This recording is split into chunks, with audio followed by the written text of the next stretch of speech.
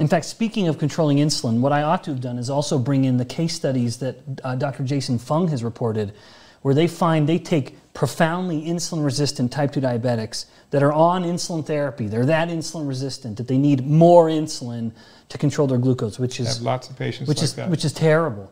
But they find that within just a couple weeks, the intermittent fasting is so effective that they're able to get off all insulin. I find that as well with my di- type 2 diabetics, insulin controlled.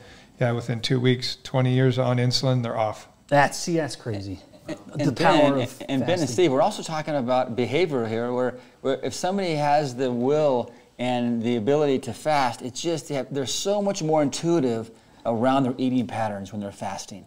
Yep. They, they Right. can feel when they're hungry. They're not saying, "Hey, I got to eat," you know, at eight and at ten and at twelve, and they're starting to be way more intuitive around their behavior Yeah, around, around uh, food. I just don't want anyone to get discouraged. If you Yeah, have just same. I agree. discovered this intermittent fasting tool, remember it's a tool and you have to apply it to your lifestyle and what works best for you. I think it's more important that you're intuitive about your nutrition and that you don't make yourself suffer because you're much more likely to, to not be consistent and not be successful if you are miserable with what you're doing.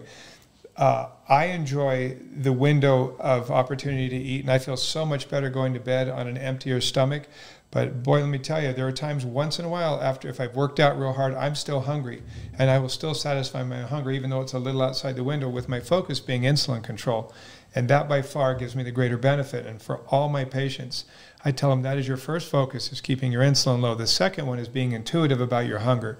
So don't get discouraged by this study. It's an interesting study, but it no way reflects how I teach my patients. Intermittent fasting is a tool, but it's not by any means the most effective way to achieve uh, health by avoiding the plagues of insulin resistance.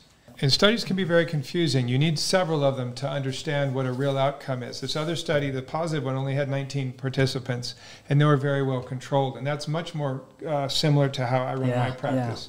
So I see that this positive result study is much more like I see day in and day out in my practice because it's very controlled. There's a specific purpose. The patients are well screened They're motivated. and they are motivated. Yeah.